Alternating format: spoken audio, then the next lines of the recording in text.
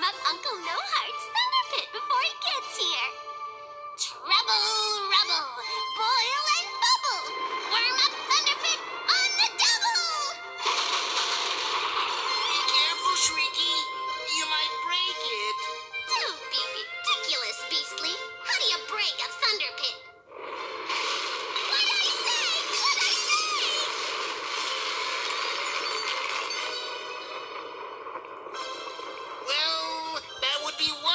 to break it? Boy, are you in for it? Me?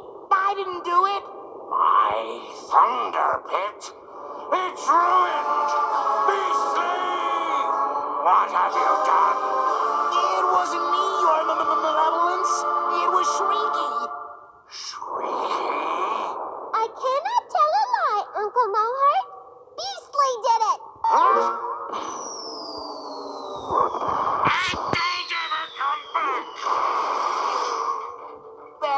from my own home. What'll I do? Weren't you a bit rough on the little hairbag, Uncle No Heart? Rough?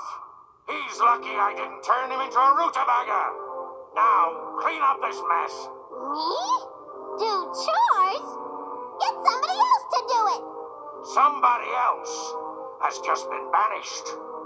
You will take over Beastly's duties, starting now. Oh!